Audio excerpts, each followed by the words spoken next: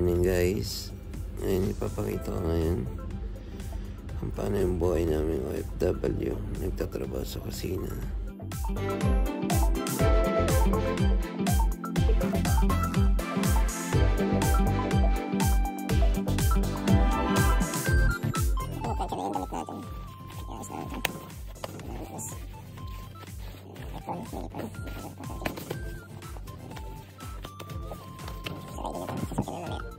Yun guys, naka... First time ko kasi mag-vlog eh, kaya... Nahiya ako magsalita. Hindi ko alam kung paano sabihin. So yun, ready na ito. Kanina, plinansya natin. Nakapagkapi na din ako. Tapos ito, doon naman tayo sa labas maghintay. Okay? Ngayon, pupunta na tayo sa labas. Labas na tayo, maghihintay ng sasakyan sa labas.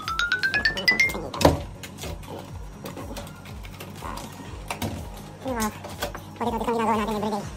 Pero okay naman, masaya. Na tayo sa labas. Basta, good morning. Okay.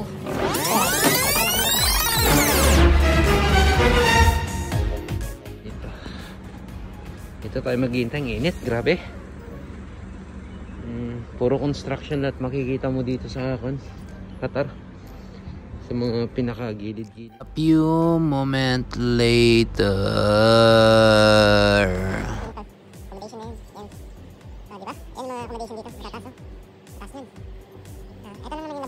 ng.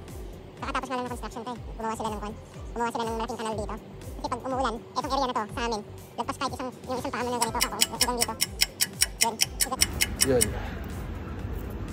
In, kailangan pa natin maghintay ng mga ilang minuto. Kasi pagkot, ang tawag dito, pag na-late ka din naman ng labas, minsan, yung mga driver, Hindi na nakakapis,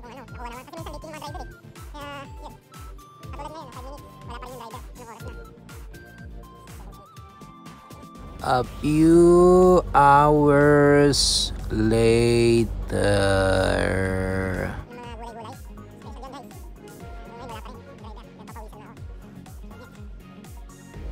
Sa kakaintay ko sa labas guys, hindi ko pala napansin kanina yung pagpasok. Hindi ko napindot yung start kaya hindi ko na-record yung pagpasok namin dyan sa sakyan. Kaya, yan, nakasakay na kami. Record sila ng pag nag-vlog daw ako, mukbang. Kaya sabi ko wala pang budget para doon. Hindi din ako makabili-bili sa ngayon. Yung kwan. Kaya ito lang muna yung mga setup natin trabaho. Susunod, ganun din gagawin natin. Magluluto tayo at magbibigay din tayo ng mga recipe. Uh, guys, ito yung mga kasama ko. Si Sunshine. Sabi nila, nag-request sila na, ano request niya?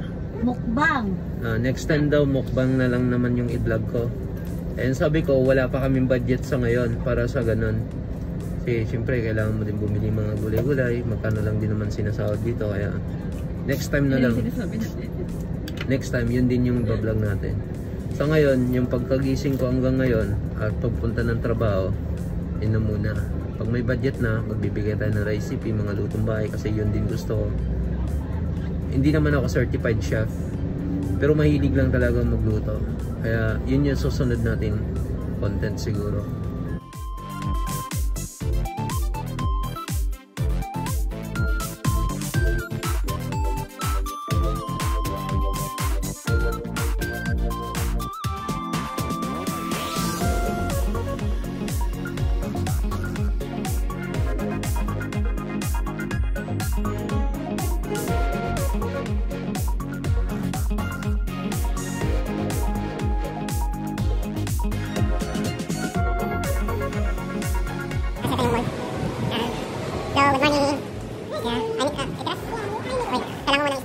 Thank you.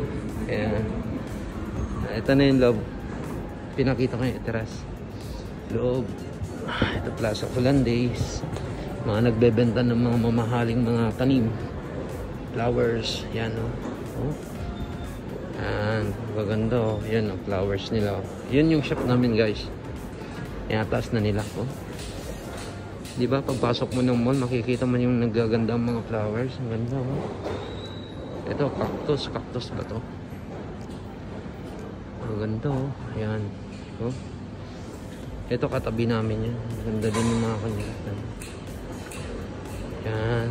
Kasi mag-iid na guys, kaya magaganda yung mga kanila. Mga binebenta nilang flowers. Yan. Okay, papasok.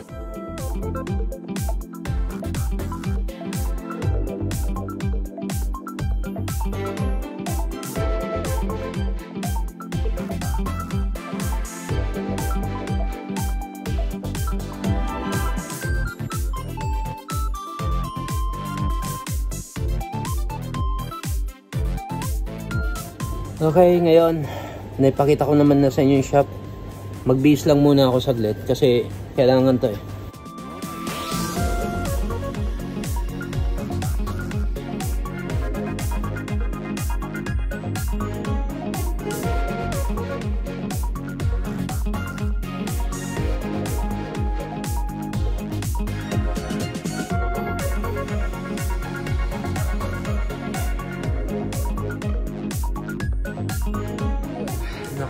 Nakadamit na ako guys. Open na natin to. Freeze. Uh, okay, oven. Ihintay nito. Yung panggabi, mga kasama ko, linabas na to kasi ipaplat ko lahat to ngayon. Siguro tatrabawin ko to ng mga apat na oras pag-plat. Yeah. Pagpasok mo dito, kailangan tingnan mo muna kung malinis. Saksak natin yung ito. Microwave. On natin. Naka-on. Ito. Kailangan din natin itong binmari. Naka-on. Take ko lang muna dyan yung kwan natin guys. Itong tawag dito. Mobile ko kasi magdo, magdo-double check lang ang expiration.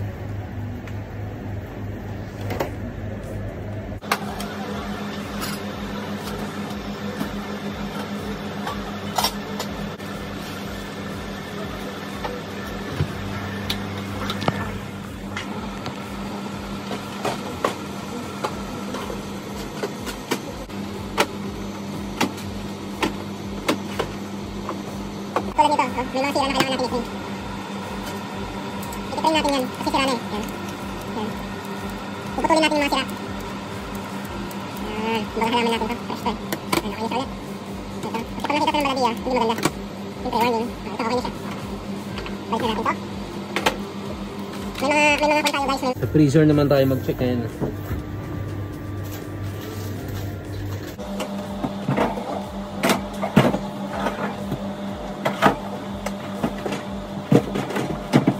Okay, so tapos na tayo sa pangalawang roll. Dito naman tayo sa pangalawang roll. May sistema kami dito na sinusunod na every Monday, Tuesday, Wednesday, Thursday, Friday, Saturday, Sunday. Andito lahat ng mga item. Dapat yung mga item na to hindi lalagpas ng 4 days or 3 days. Hindi, maximum ng 3 days mali pala. 4 days, hindi mali ako. 4 days ang maximum dapat ng item, dapat chinecheck na siya. So ngayon, uh, ano ba ngayon? Wednesday. So yung Wednesday, alisin na natin lahat yung item na yan. Itatapon lahat yan. So wasted na yan.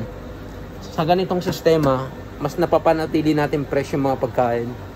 Yan yung sistema na ginawa nila. uh, ano na, yung mga gawa ni Mahal na, kaya mas mapanatili pa sa mga video. Kasi nga, tapos control ko. At saka, mas masarap talaga ang pagkain sa bago. Tanggalin na natin yung mga wasted.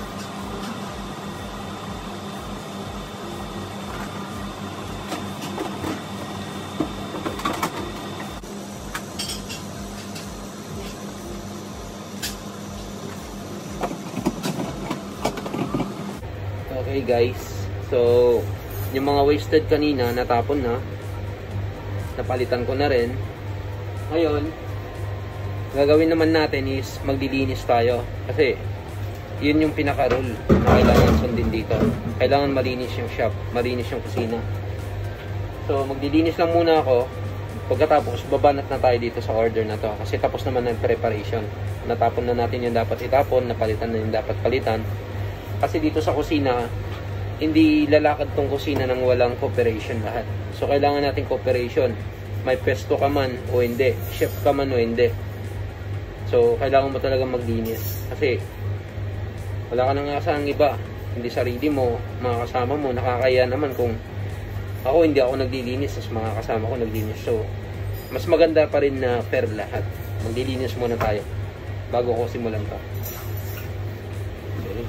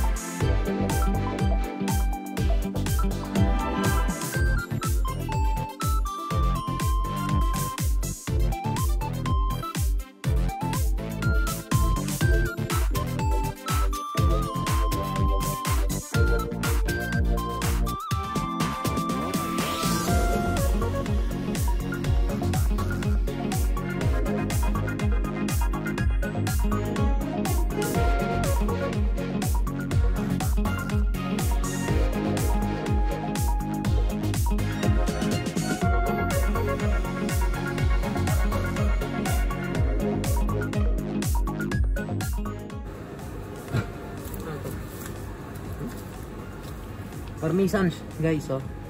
Ito ginagamit namin sa kan sa Alfredo sauce para sa pasta. Pakamahal dito. Sobrang mahal cheese.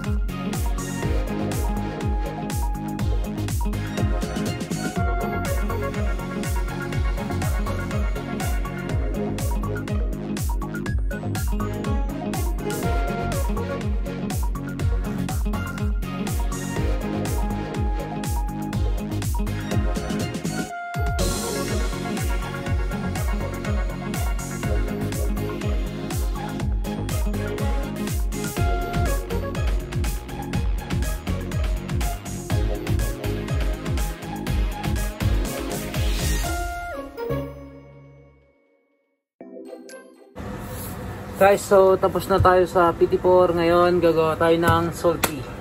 Salty naman.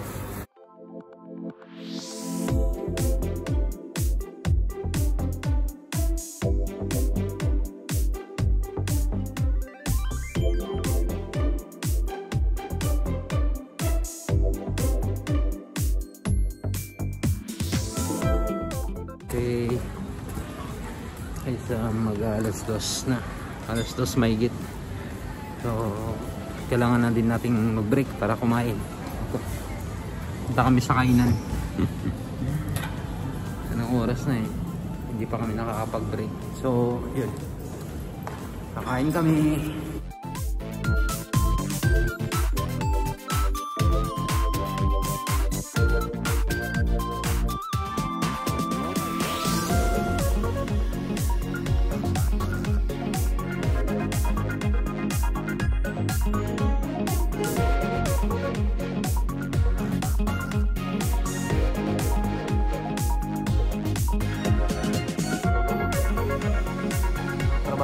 tapos na ang 1 hour break natin.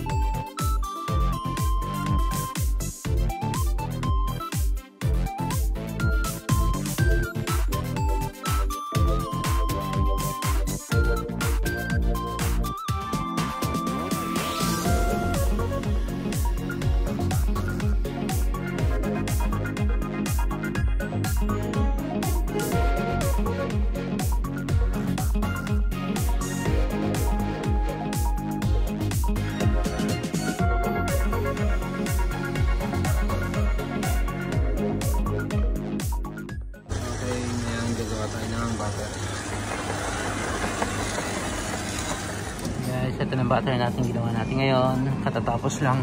Grabe yung kamay ko. Finished product. Susunod natin ngayon yan. Oh, hi. Ano yung ginawa natin kanina? Yan natin bago. Meron din dito, yung shutter. Yan, sisend natin yun mamaya. Guys, tapos na yung duty natin. Kaya uwi na tayo. Okay.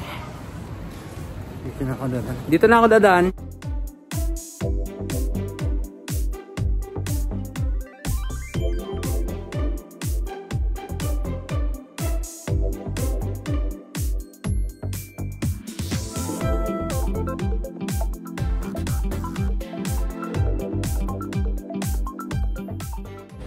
deets.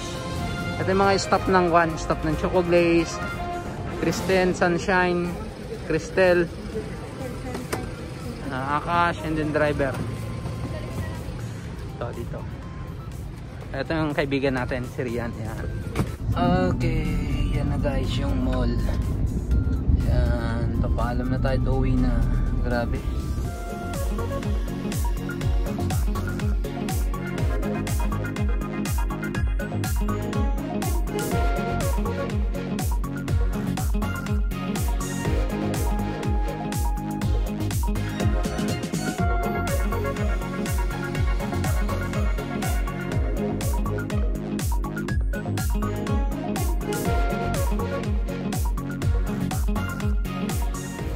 Guys, bali dadrop na nila yung mga ginawa natin.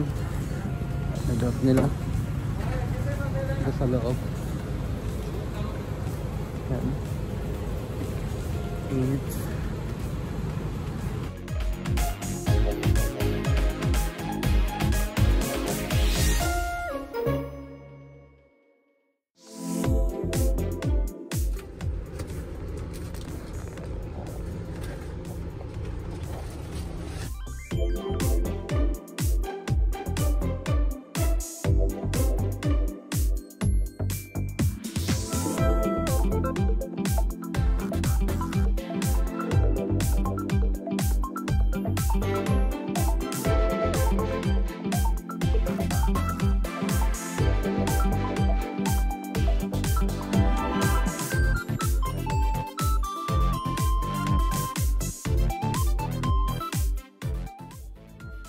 Okay, finally, andito na ako sa bahay guys. Ano oras na nakawi? Uh, 7.40 na. 7.40. So, yun, dito na po nagtatapos ang vlog natin ngayong araw na to. Kaya maraming salamat. At ah, sana nag-enjoy kayo sa video natin. Tsaka, yun. Siguro next time di na ako maiya magsalita. Ngayon medyo naiiya pa ako konti. At saka hindi pa ako marunong gaano. Kaya maraming salamat guys. See, bye-bye. Ingat kayo guys. God bless. Salamat sa mga nanonood. Subscribe na lang. Salamat sa inyo.